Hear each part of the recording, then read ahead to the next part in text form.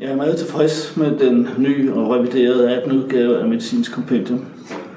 Det har, mens vi lavede den, været vigtigt for os, at den ikke bare opsummerede symptomer, diagnoser og behandlinger, men at det var en bog om intern medicinske sygdomme, skrevet af klinisk arbejdende læger.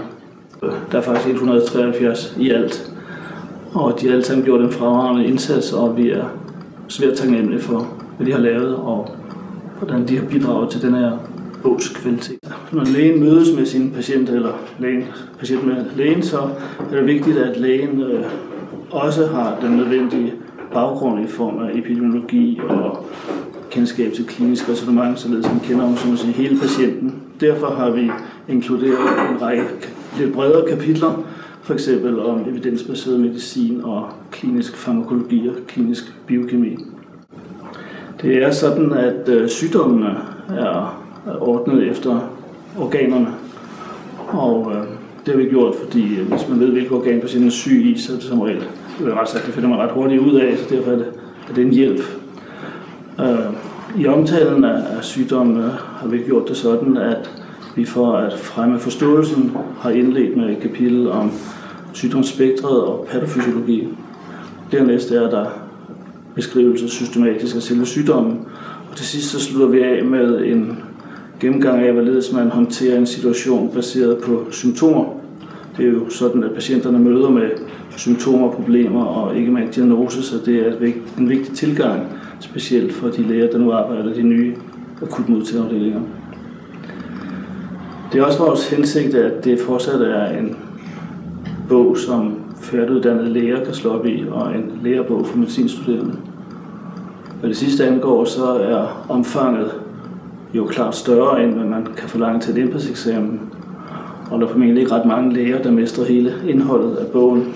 På den anden side må man sige, at øh, det fremmer forståelsen, at der er noget baggrundsviden indimellem. Og øh, så er der måske også lidt at glemme af, hvad der kan være nyttigt. Og øh, endvidere er det vigtigt, synes vi, at øh, der er en samlet, nogenlunde homogen fremstilling af alle de medicinske sygdomme i én bog. Så vi håber, at både medicinstuderende og færdiguddannede læger vil tage godt mod den.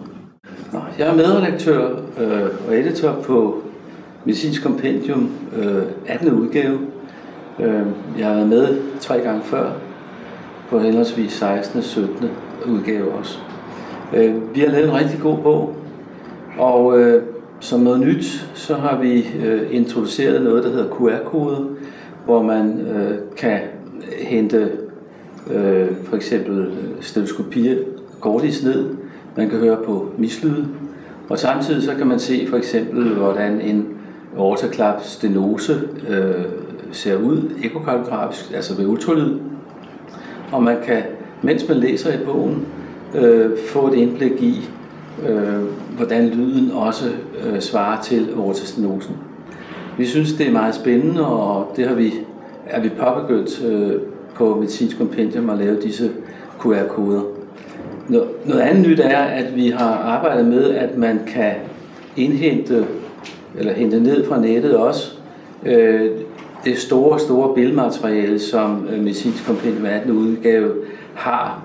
Øh, vi synes selv, at øh, billedmaterialet, som man kan anvende til foredrag, er meget, er meget illustrativt. Vi har også øh, gjort det således, at man kan anvende flere tabeller.